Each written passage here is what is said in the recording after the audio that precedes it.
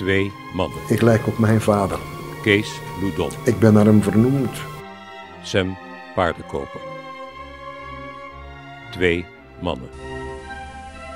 Twee mannen op reis naar het verleden.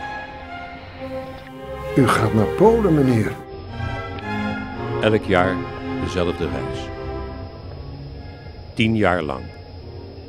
Ieder met zijn eigen reden. Maar waarom zegt u dat niet gewoon? Het is toch geen schande om naar Polen te gaan?